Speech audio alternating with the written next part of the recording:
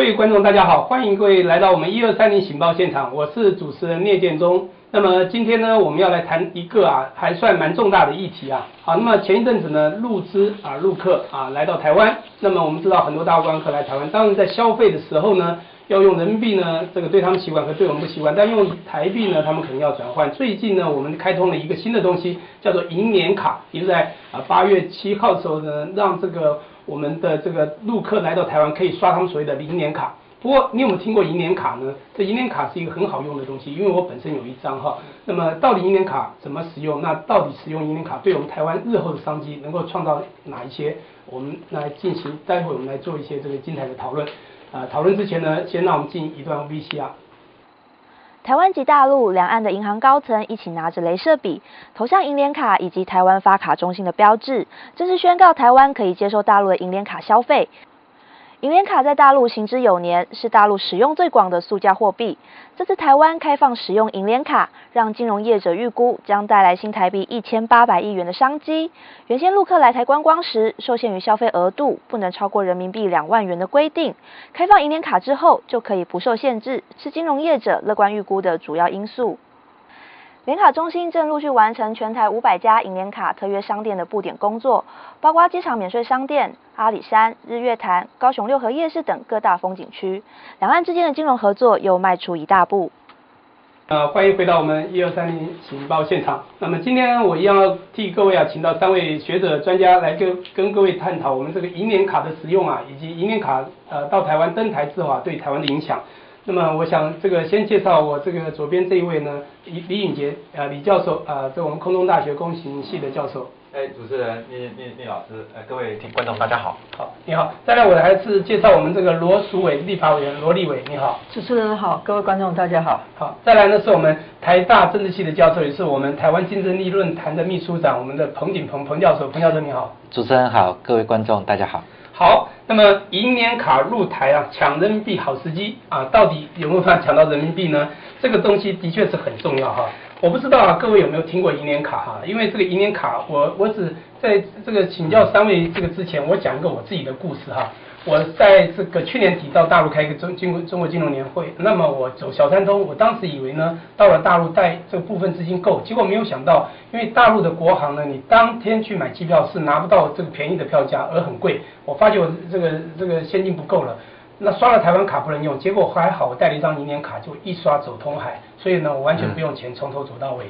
这个真的是很好用哈，那么我想请请教李教授，你觉得哈，如果银联卡开通之后啊，对大陆人士啊来台湾，你觉得呢？是不是对他们是真的会觉得很潮用，而且呢会创造更多人来或者更多的商机？当然，这个首先就是说对大陆人民来讲呢，他当然觉得就是比较方便了，因为目前我们台湾有两万块人民币的限制，也就是说你在台湾呢你要带现金的人民币两万块限限制，而且对台湾呢有风险，就是说人民币很多伪钞。对。那台湾的商店很多分不清楚人民币伪钞是。这新台币已经慢慢知道了，对不对？也经过好几年才知道说什么是伪钞。那人民币很难分辨伪钞，所以所以银联卡当然是对大陆的消费者来讲是是好一个好处。但是另外另外一方面呢，呃，对台湾来讲呢，确实也有商机在那里。对。那但是呢，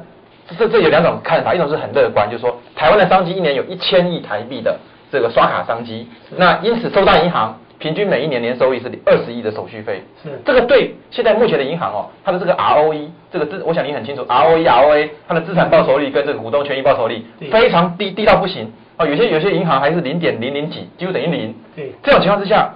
我跟你讲，与这是好像是久旱红甘霖了。所以对他们来讲，银行这个要要开发这银联卡，这银行当然是这个这个求之不得。只不过现在目前来讲，就是说一个问题，这样问就是说。目前开放的这个银联卡的这个特约商店太少了，嗯，只有三百六十八家，这么少的加加速，你说怎么方便？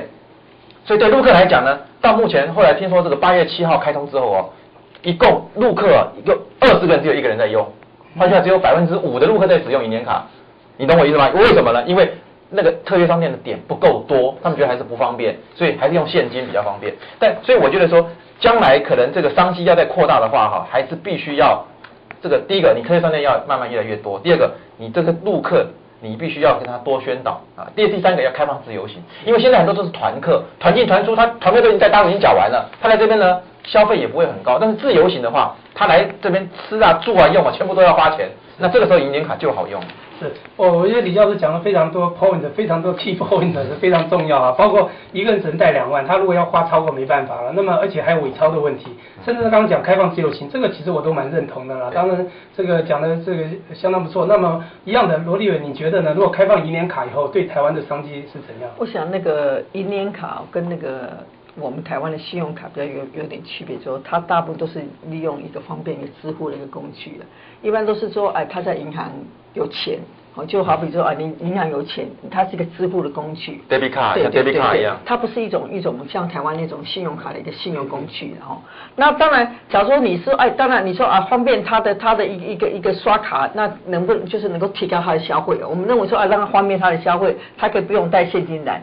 可是目前以目前的台湾的一个观光旅游，假如你只是说寄望在这个银联卡的花钱，而不是在提高这种旅游的品质的话，哈，那其实也也没有办法啊说它到底是能能够有产生多大的利益了。而且现在尤其是目前那个那个所有一些大陆旅游团都是那种卸价那个比较低价团呐，那所以它的低价团的话，它消费也是有限的啦。那假如说我们现在，假如说我们本身的银联卡，我们没有争取到说我们的花卡的一个一个一个权利的话，那等于会变成造成什么？大陆花卡银行它在吃烧饼啊，那我们只在吃那个芝麻而已啦，哈，我们没谈到什么 什么大的好处了，哈，所以我是觉得说还是要争取到那个那个花卡的那个。我补充一下，就是说，其实罗伟的意就是说，目前台湾国内银行哈还不能够开放那个发行银银联卡。所以呢，这个大饼吃不到，它目前只开放什么收单业务，然后交易授权跟清算货币。那这个东西清算业务这些东西呢，都是手续费而已。真正赚钱的是发卡。嗯，不过没有，我我我的看法，当然两位讲的，我就我您参考一下。其实我这边有个数据哈，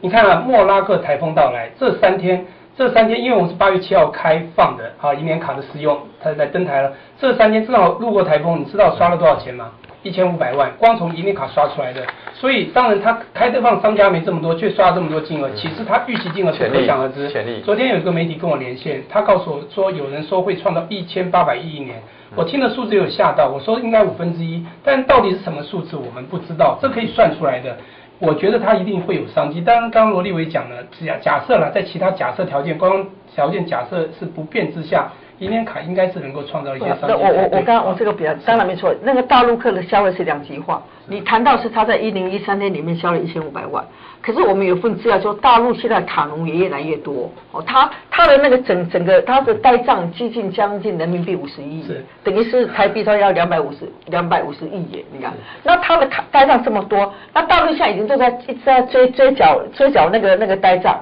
那所以我们未来那只要同意我们台湾银行去发卡的话。那在照理这个，不过他 card，他 card 他不是这个信用卡就是了。不过当然这个也他的对对，他不是我说那那个那个假，他这个主要是一种，假如说你真的是要那个银行的连线有问题，因为假如说你是现金，你是用当做现金使用，还是当做信用卡使用，就说那个现金使用，你还要跟他们一些银行都要连线的。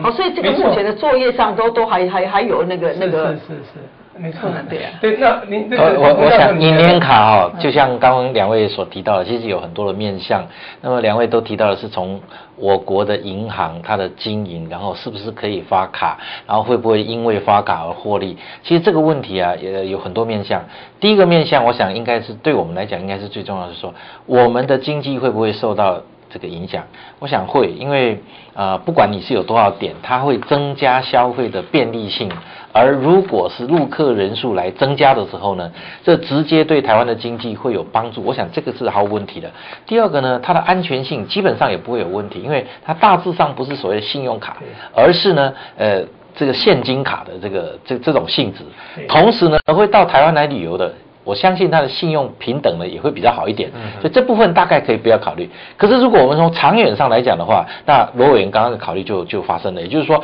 台湾的银行要到要发行这个卡，那么它的连线以及所有的费用以及未来拓展的那种可能性哈。其实我还是从比较乐乐观的一种角度来看，银联卡毕竟是已经跟 Visa 卡或是 Master 卡是一样的，在世界通行的六十几个国家来来来使用，而且呢，它发行的当初已经达到十九亿。那如果我们再看说大陆。